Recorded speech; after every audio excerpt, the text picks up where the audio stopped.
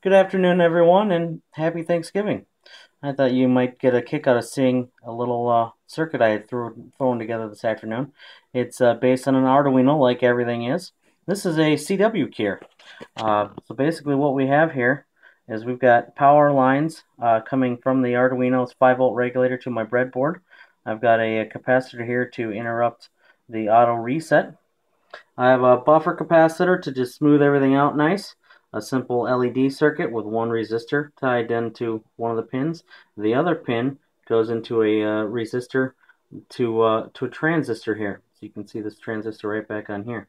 Uh, that transistor is tied onto my uh, uh, line of zip cord that goes back to the radio's key line. And so what this does is it takes from uh, takes serial information over the USB port from my logging software and uh, sends out CW from there. So it's a, it's a slick little thing. I just kind of threw it together. Hope to uh, work the CW contest this weekend. So here it is in demo.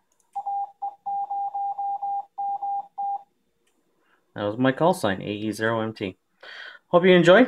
And uh, this is running the K3NG software. You can go to his uh, website, uh, look up Radio Artisan, and uh, on Google, and you'll be able to find everything he's done. So, a real simple little keying circuit. Hopefully, it lasts me the contest weekend. If it does, I think I'll build a little bit more permanent version. 73s, everyone. This is Mike, AE0MT.